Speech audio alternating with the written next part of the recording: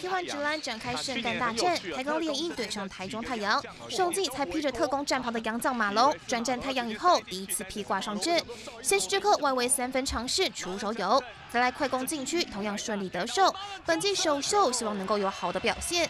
但另一边猎鹰也不甘示弱，尤其从板凳出发的吕冠廷，第二节在外线扮演骑兵，光是这一节个人三分线外八次出手就轰进五球，飙进十七分。另外单场七颗三分球，二十七分的表现也是全队最高。半场结束，连赢四十八比四十七暂时领先太阳。看到这边，我知道大家都想问，吕冠廷这么会轰，啊怎么才一分领先？原因在于刚刚除了他之外，其他队友没有太多表现机会。于是到了下半场，大家也送上火力相挺。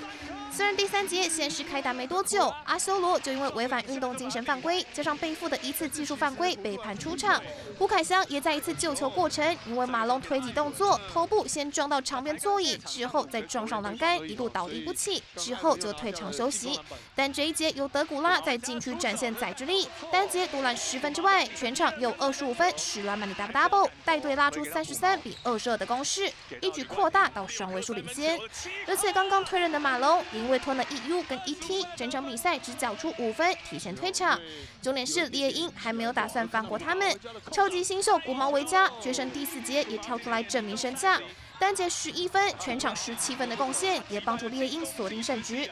中场一百零六比九十五，小娜晋级二连胜，同时也是队史第一次战胜太阳。马俊台综合报道。